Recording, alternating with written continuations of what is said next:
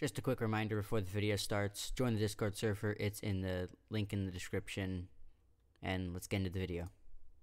Hello, this is the second video in my tutorial, little tutorial series thing. First video, if you haven't watched it, give it a watch because we're going to be going over things in this video that you're going to need to know from last video. So, it's in the link is in the description. You can just click on it and it'll open it up. You can watch it. Also, thumbnail is right up here.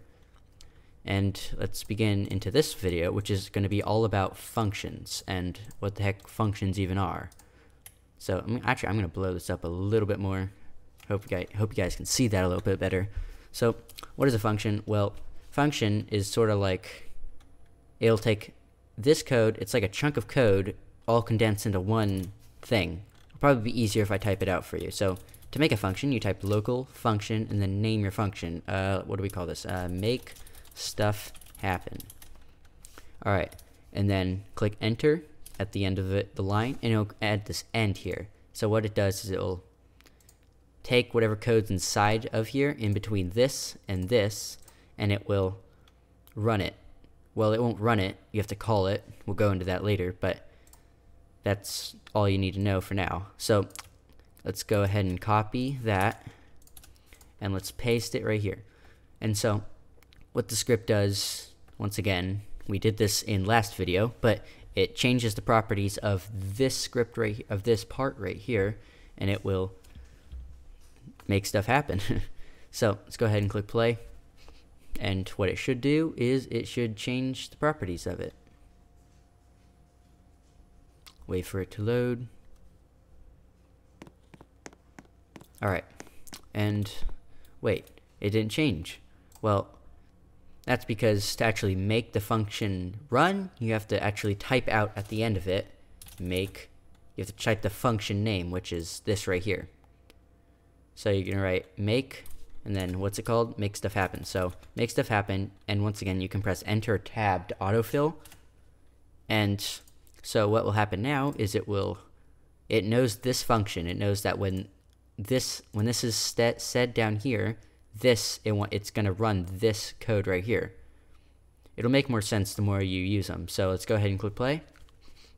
And this time, it'll actually change the properties of that one part. And yep, see, it changed the part. It knew it, it knew that when I said make stuff happen, when I said when I called this function, it I want I wanted the code or I wanted the game to run this bit of code. Now, this little example is not probably not the most interesting and it probably doesn't make much sense. Like, why would you actually need to use functions? Why can't you just write this code out like normal? Well, you might want to do it like um, if you want to create a new part, like if you want to add a, a hundred parts into the workspace. Or like maybe you're making a game with meteors and you wanted a hundred meteors to fall from the sky. Well, you don't want to write out all the code to make the meteor fall like a hundred times. You would just want to call a function. So actually, let's go ahead and do that right now. You don't need to know what this code means.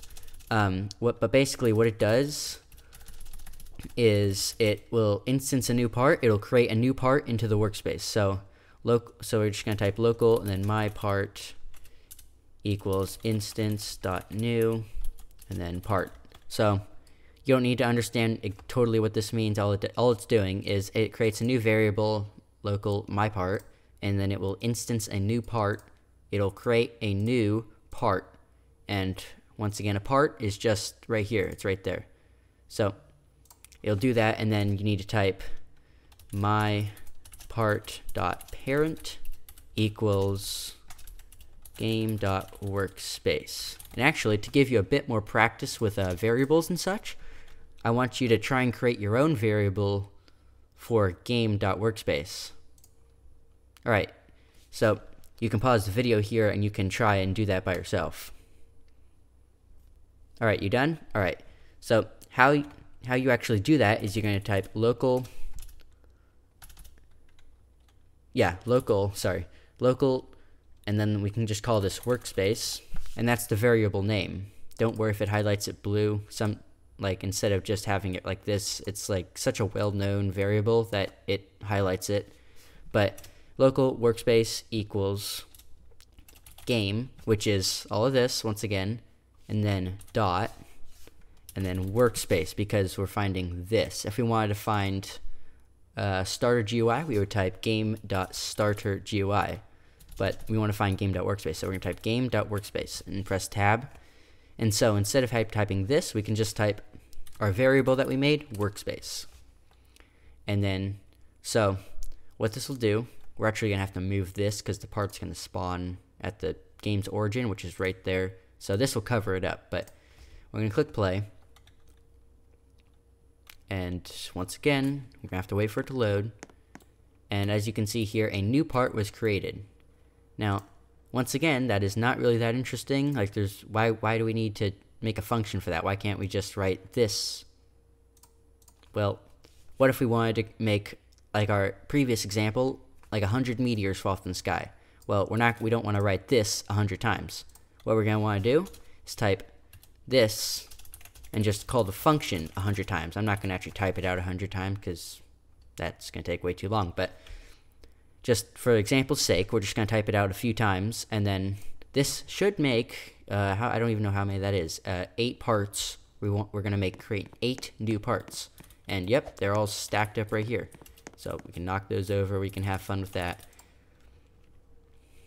But that is basically what functions are. We're going to go over them in the next few videos, but for now, that's just the basics of functions. If you want, you can mess around with it, like maybe try and make your own game, like, uh, maybe you want the parts to like I don't know, have fun with it. Try it, just be creative, do something with it. And that's really all for this video. We're going to go over this next video. Should be out in the next couple days. Uh, goodbye.